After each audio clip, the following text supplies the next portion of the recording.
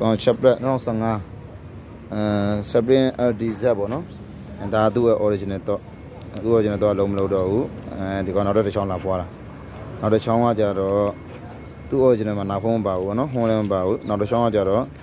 ကျွန်တော်ပြန်လုပ်ပေးလိုက်တဲ့ဟာအတိုင်းက original အတိုင်းပေါ့နော် original လုပ်ပြန်လုပ်ပေးရပေါ့အဲဒါတော့ချလိုက်ပြီခဏနေနောက်ဖုံးဖွင့်မယ်တစ်ချက်ပဲနေလိုက်နောက်ဖုံးပွင့်သွားတယ်နောက်ဖုံးပွင့်သွားတယ် ဒါဆိုနောက်ဖုံးပွင့်သွားပြီတဲ့ဟွန်းโอเคပြန်ပိတ်မယ်ဒါအဖွင့်โอเค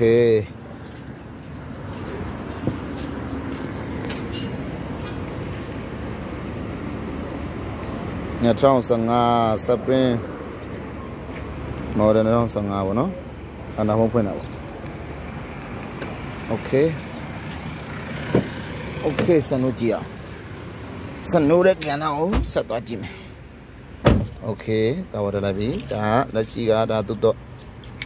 โอเคလို့ကြည့်မယ်တော်မီငိမ့်နေတော်မီငိမ့်နေပြန်အေးပါโอเคစနုပါโอเคဒါတူတော့ဒါကကျွန်တော်တို့ခုပြန်လုပ်ပြီးတော့ ခွန်ခွန်သူဟာတော့ original နောက်ဖုံးမပါဘူးဗောနော်ဟွန်းမပါဘူးဒါပေမဲ့ကျွန်တော်ပြန်လုပ်ပြီးဟာမှာနောက်ဖုံးလည်းရတယ်ဟွန်းလည်းရတယ်ခွန်လောပြောက်တယ်အပိတ်အပိတ်အဖွင့်အဖွင့်အကုန်ဖွင့်ဟိုပြီးစနိုးကြည့်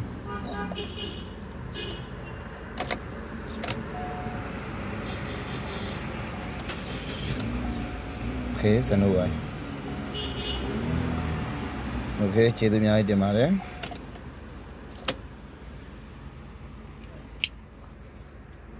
ကျေးဇူးအများကြီးတင်ပါတယ်ဗျချက်ပလက်စပလင်2015